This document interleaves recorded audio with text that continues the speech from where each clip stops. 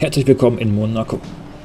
Startziel voll durchbeschleunigen, Kers komplett einsetzen, schön die Geschwindigkeit mitnehmen. Turn 1 im dritten Gang. Haarscharf in der Leitplanke entlang. Bergauf, Vollgas, auf in den sechsten wieder. Auf die schräge Linksbube vorbereiten. Vierter Gang schön rund mitnehmen. Am Casino einen runterschalten, auf die Bodenwelle aufpassen.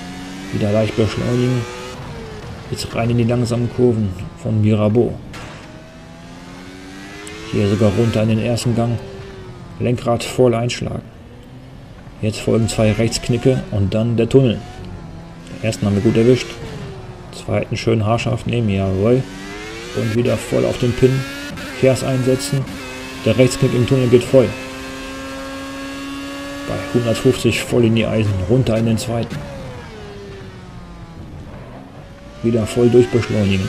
Auf die Tabakkurve vorbereiten. Einmal runterschalten, wieder voll drauf. Jetzt die schnellen S's. Hier aufpassen auf den Körb. Nicht so hart mitnehmen, sonst landen wir die Leitplanke. Sehr gut erwischt. Rein in den Raskas, runter wieder in den zweiten. Jetzt nochmal der letzte Rechtsknick. Und wieder rauf auf Start und Ziel. Das war eine Runde in Monaco.